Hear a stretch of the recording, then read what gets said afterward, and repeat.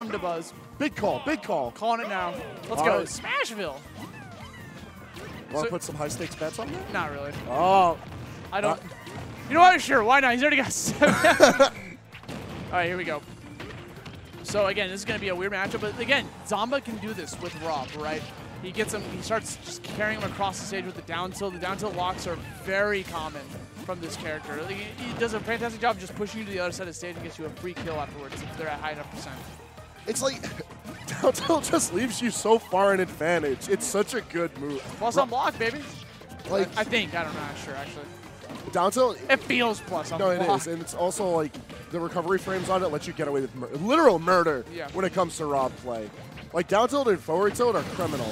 But you know what? If Olimar's Olimar's not, he's not gonna let you set up the down tilt if you're airborne the whole time.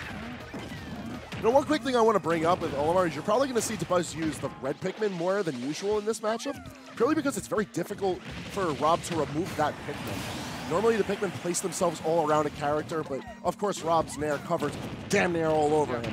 Or But arm rotor, you know, like the one that just killed him. that's the move that we're going to see a lot of from Zomba, even outside of its more cheesy aspects, just because that's the only reliable way Zomba has for removing any of that damage over time he's going to see from the red Pikmin. Okay, now we're big chilling off stage again, 128. Kill Squad online. Let's see what they're going to bring. And there goes Blue. All of these projectiles everywhere. You got the, the Pikmin, the little gyro up there. Just cre- increasing so much hits. That's the second kill today we've seen from up air in a row from Dabuz. It's a great anti-air check because, like, Olimar himself doesn't actually go that high up.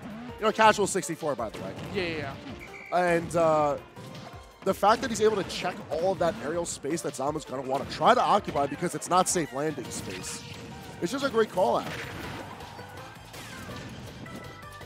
Okay, try to call the landing. Oh, calls out the roll instead. And a very dominating game one coming out from Dabuz. Two stocks to play with. So we, we, we had the finger coming up from Zomba. The potential counter pick could be coming up from him. I know he does have a Roy. He has a Roy, he has a Link, he has a Joker. He's got a, a- a host of characters he's willing to pick into. Uh, I would not be surprised to see that Link come out, as we can hear from the game audio. And I don't see a switch of character from Buzz. I think he's going to ride Olimar out this whole way. If he wasn't going to pick Rosa to go into Rob, it's probably just going to be Olimar the whole show. You don't want to pull uh, a Kofi where you, you get you get a win and then switch to Sheik. Oh. Like, what are you doing, bro? first of all, his sheet, that's nice, but not nice enough. Well, I don't want to talk about my lad right All now. right, let's talk about the other Zelda characters we got on stage here. Link. So this character, um, much improved from previous iterations. Oh, absolutely. Actually has some sauce going for him. Has the ability to just, you know, try to wall out his opponents with the projectiles, but he's playing rather aggressive. He's looking for these nairs because Link gets so much off of it, right? If he manages to connect that long-lasting hitbox, that can confirm into some smash attacks potentially. On top of that, neutral air will help get the Pikmin off of Zomba. Ooh, it leads Big into hit. stuff like that. He was be- fishing for Nair the whole time. It's going to deny the Pikmin. It's going to kill the Pikmin. It's going to be his combo starter. I just can't believe he just spammed Nair the whole time and managed to connect into a forward smash. That was disgusting. All right, even though he got the parry, he thought maybe he could get that uh, forward tilt out in time. No, no, no. We got all of our fisticuffing with those jabs. That was, that, was a smart answer coming out from Dabuz. You know, he realized, he recognized that he got the parry. So, you know, I'm just going to punch. Get those jabs out. I like how Zomba's trying to keep a very mid game right now. He's staying at Sword's length, but he doesn't want to give Dabuz enough breathing room to really start a counteroffensive. Take note now, Dabuz has not had enough time to establish a lot of Pikmin presence. He's been rocking on one or two Pikmin, Bro. and he's already down two stocks. This is a complete reversal from game number one. That Rob was just like, put that in, in Pac forever, dog. You bust out the hero of time. I'm just saying, Austin, you're lucky man you didn't take that bet because this is not looking like a 3-0. Not the way that Zomba's playing right now. Wait, I, Dabuz is the master of uh, comebacks. So wait and see. Wait and see. All right, all right. Here it comes. He's got the edge guard. He's got this. Oh, the hold spike. on. Oh. He's dead. I thought he was gonna downbeat from like yay high, like mix up device. It definitely looked like a misinput of some kind because he just upbeat when there was no pressure coming towards him. Yeah, there's, there's some shenanigans afoot, but Yeah. Zomba has a whole stock to play around with. And he is just chilling. But Dwayne's got himself back on board. He's only got the, the one Pikmin, but if there's any one to have, it's yellow. Getting that one hit is all he needs to reestablish base. And look at that. They all pop off.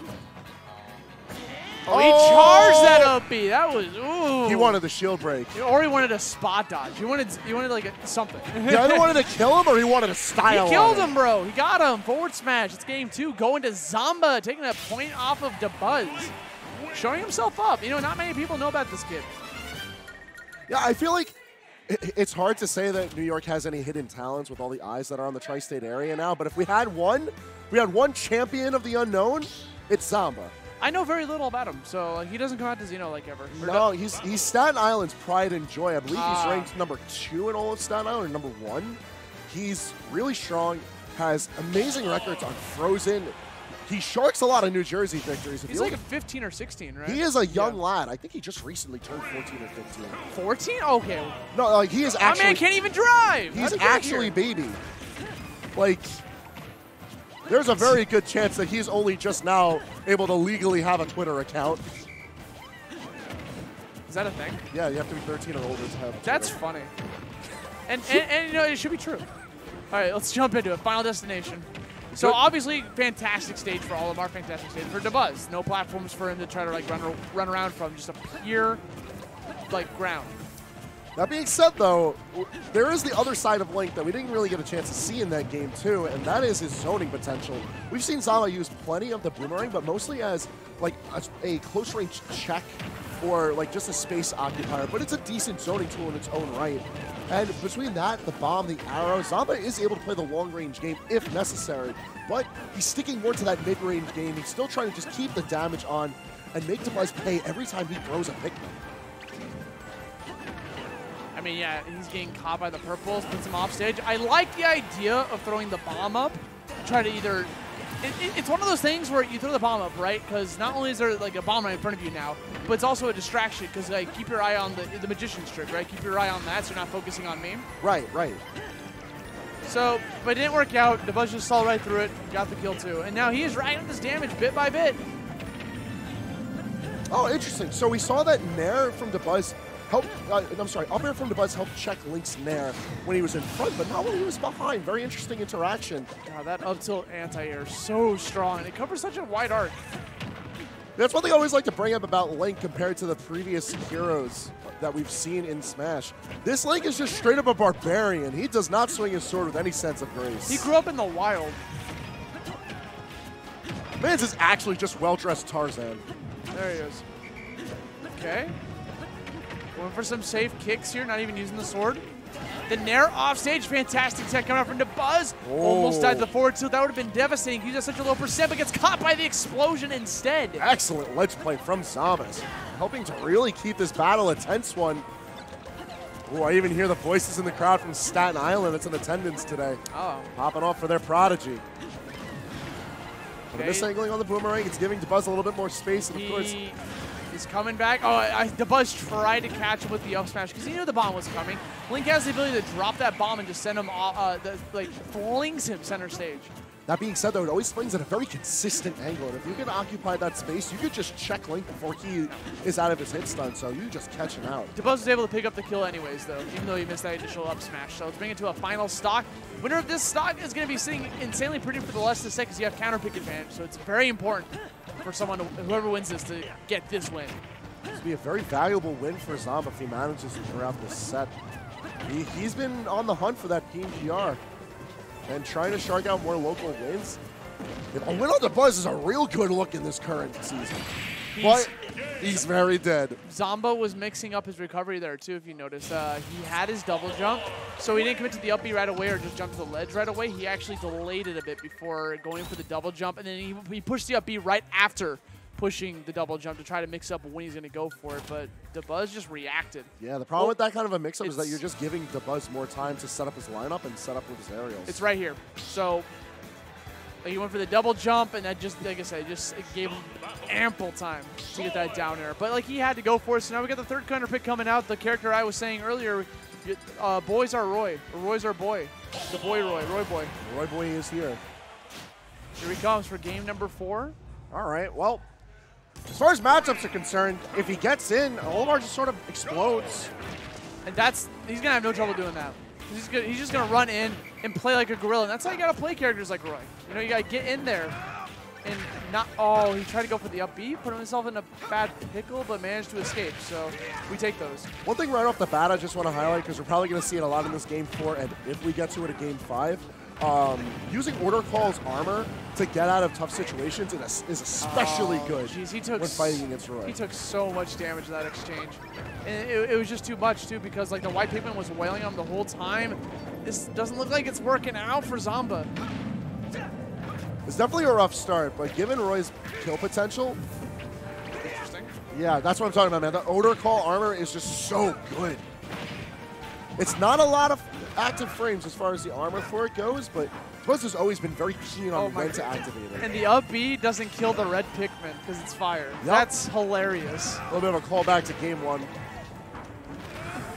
It's funny too because Red Pikmin has very little practical application outside of being like a worse blue Pikmin. So to see its fire property be the most relevant aspect of it, always charming. It goes for the forward tilt, sweet spot on the edge of the uh, the hilt of the blade. And finally get the kill, but it might be a little bit too late. He's already at 132%. But here comes Roy, can rack up the damage super quick here. All he needs is that one up air to get those combos started. Also has an up, a very powerful up that he can swing in either direction. And it's a good call out from Zomba too because he saw the spot dodge from the Buzz, and typically speaking, you see a spot dodge, probably a smash attack following with Olimar. And uh, Zomba got a little bit predictable with his recovery there. Eh, The timing of when he goes for the ledge option to get back onto the stage, the ledge just called it out with a forward smash. So you gotta be, you gotta be able to mix up those timings. It's a shame for Zomba. We've seen multiple times he's trying to get that jab into the uh, double uh, double-edged dance, I believe it is. Yes. But Order Call gets Olimar out scot-free. So Zomba needs something a little bit more reliable to net these kills. Okay, I like that Dabuz throw. Oh, no, he's living though. 83%. Forward air gets the sweet spot, gives him plenty of room to breathe. But the second he committed that jump, loses the exchange from the up air.